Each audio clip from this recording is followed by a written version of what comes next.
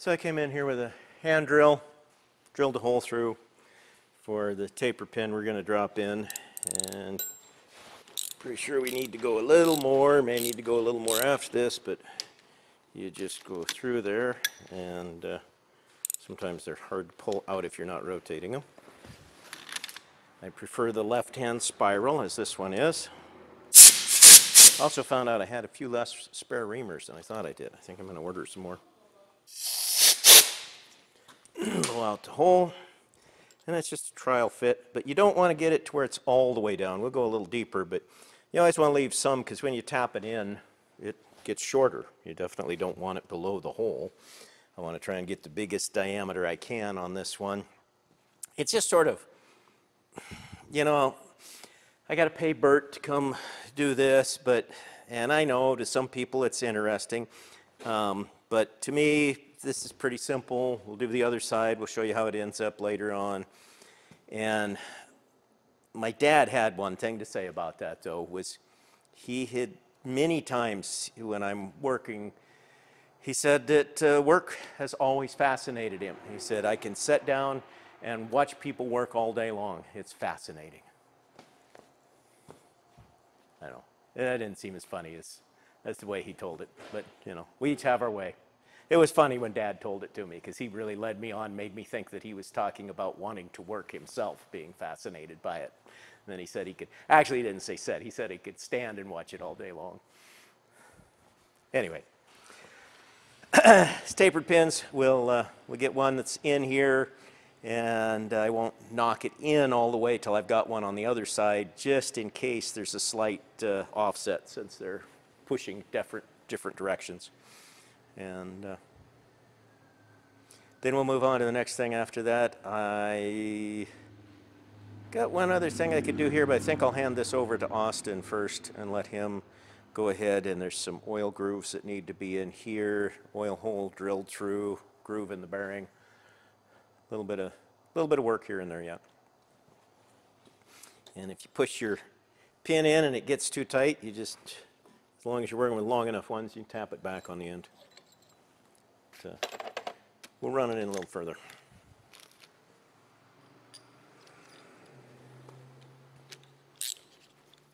Huh. So we're gonna watch. Okay, we can do that.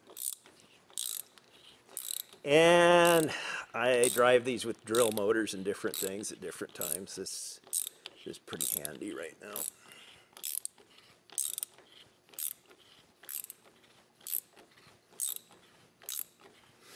One thing where I don't want to go too far, because I don't have any bigger pins. I want to get to that larger diameter of that pin, but uh, I don't have any that are any bigger in brass.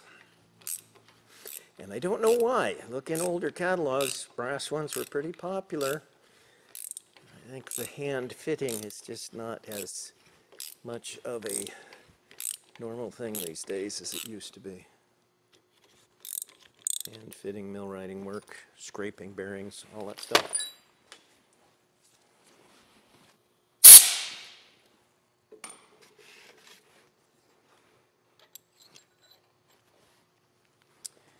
probably want to go a little bit more, but I'm going to grab a little tapper and just see what I think of that.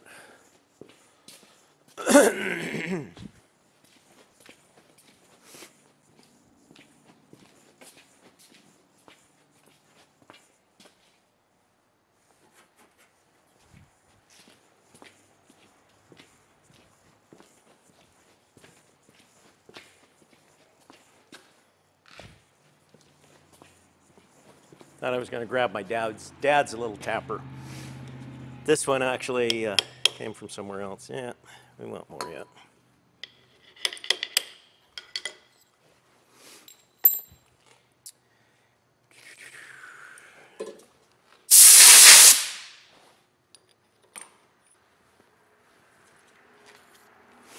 So, figuring that that's about there.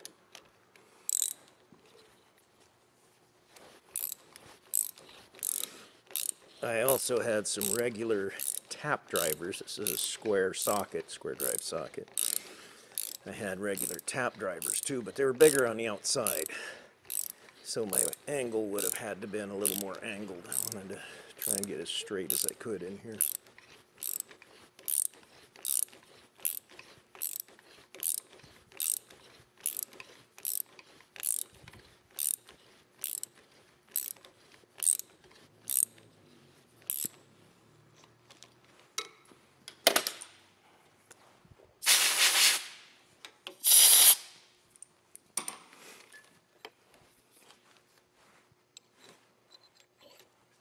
I'm gonna call that good enough. I don't want to press my luck if I want to tap it down, we'll chop it off. That's big enough, good enough. And uh, I will tap it in, not hard, but a little bit right now. We'll turn it over. And I never really thought about that too much until just today that it would be nice to have a mechanics table that was ground or at least milled really nice and flat.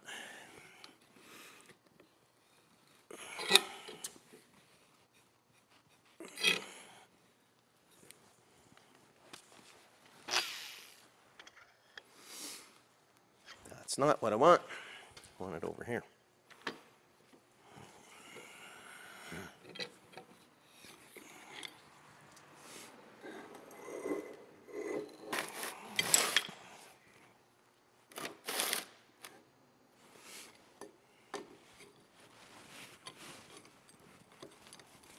Ah, I see where it fooled me because I did want the clamp actually on that side if I could. that was what I was thinking that way. I wanted to put the clamp over that bearing segment.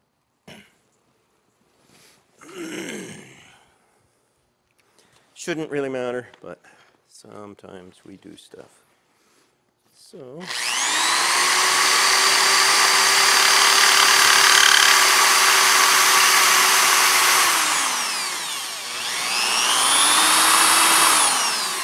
And once I get started, I'll make it.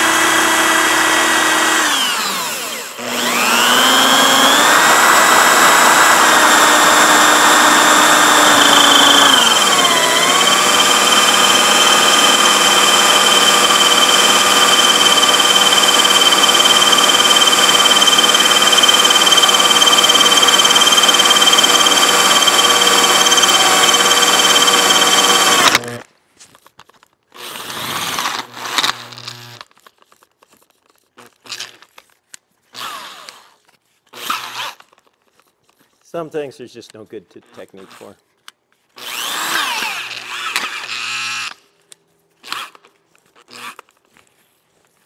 Eh, It could have a snap on the end of the bit too, but I don't think it is. I think it's just catching. Yeah, it's no big deal.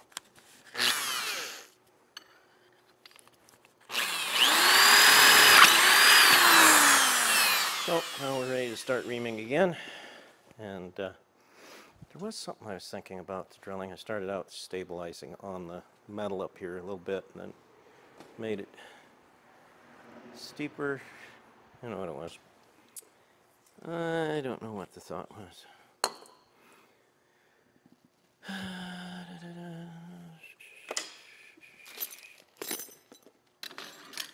Moved things around. Where did there it is?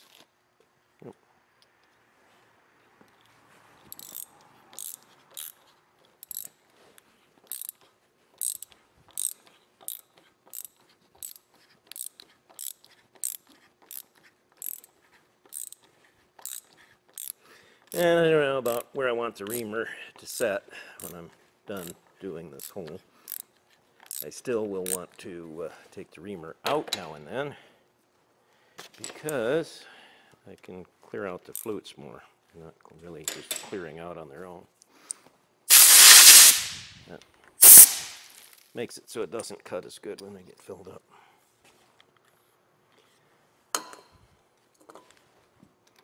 And it's not that that is my preferred or any kind of a special oil for what I'm doing here. It's just I felt like a little bit of something was good. It's not really where I need a heavy oil.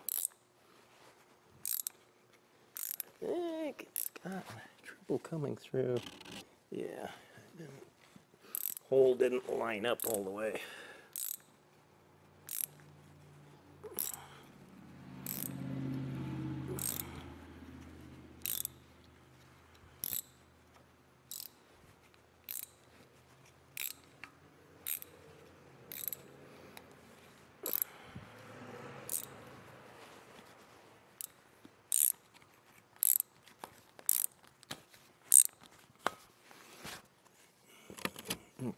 I am just plane, because I know I need to go a little bigger anyway. I'm gonna grab one size bigger drill.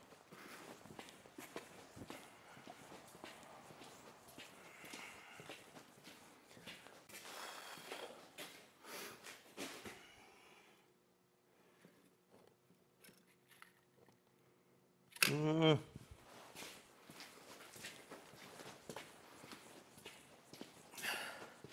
No, I'm not. I know the diameter of the next drill, but it's just too close to where our finished size is. I'm not going to do that. Run this back through. Don't ever do that. Bad to use a drill as a milling cutter.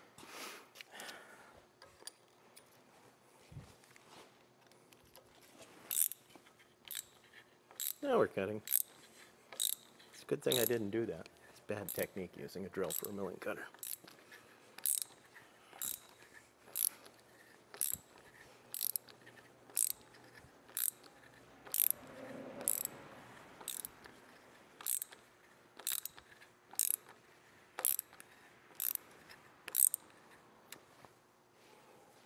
Actually through. Also, there's chips.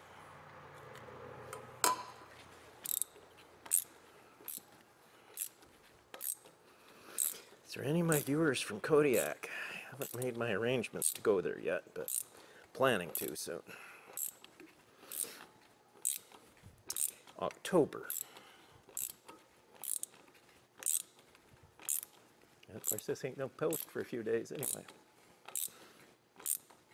You got a month. Yeah. I think I will get my tickets and room and stuff figured out tonight. Mm. I told him I'd let him know in a day or two if I was coming.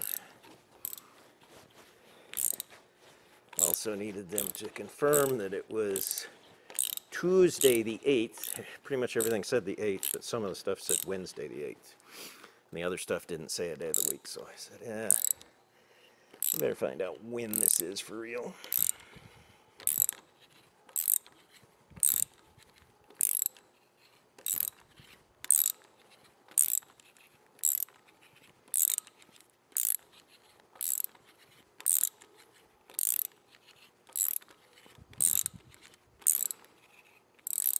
See, last time the socket was just down below this edge when it was right.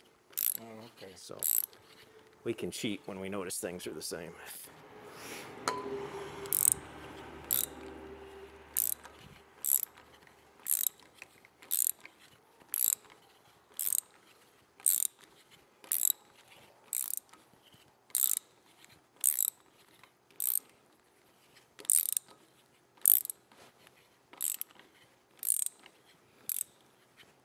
Yeah, always grab square drive sockets, eight point sockets, any of that when you see them at a garage sale or whatever.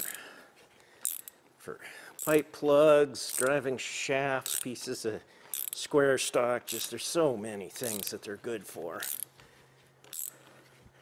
And a lot of times you just can't even hardly buy all the sizes you want new. I've, I mean, I've bought an awful lot of them off of the Snap-on truck too. They don't always have all the sizes.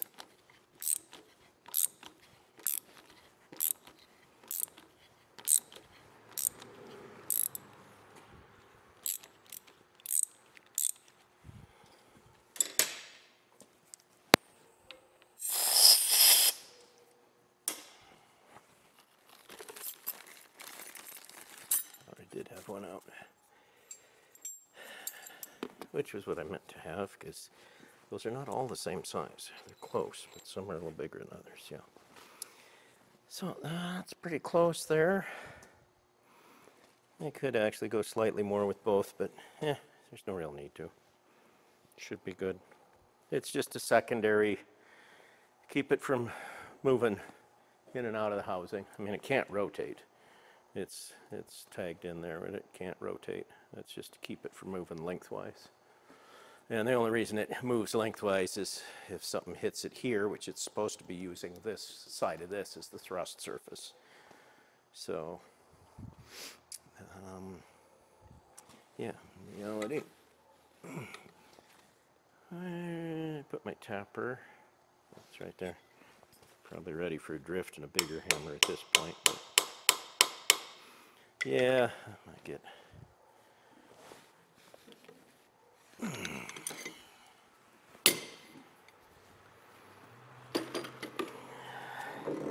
Should have been again further on. I'm gonna get a bigger hammer and a drift both.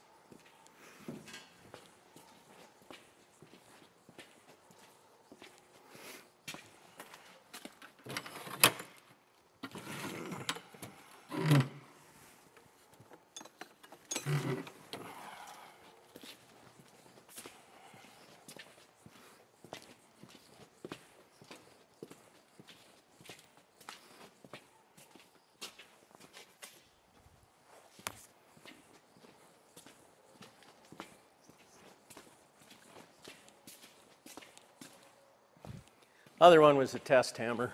This is the real hammer.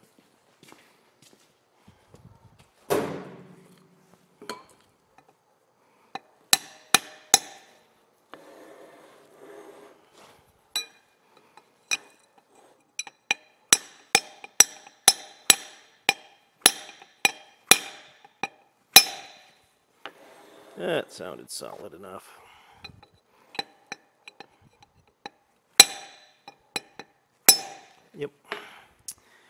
Okay, and then when we cut those off, again, neat thing with the tapered pins is we'll have another brass tapered pin here because that's still a good pin. It's just a different size for a different fit up because they're the same taper all the way down. So cut those off, cut this off, grind a little below the surface. I'll give Austin a layout for the, uh, which is actually really easy for how to do the oil holes because I'll just hand him one of the other bearings as a sample. Some. This one here, even though it has oil holes in it for the sliding up and down, that where the position where this bearing goes, it doesn't ever use those as far as it will, they'll get oiled, but uh, because it just locks in a place. There's, uh, it's got springs and these ones anyway lock into the frame. So these are the ones that are solid and then the other two are sprung and move a little bit. They slide up and down, but all of them have the same uh, design here as far as locking it into the frame assembly. Whether it's a moving one or a fixed one, there's a tapered wedge that goes in there.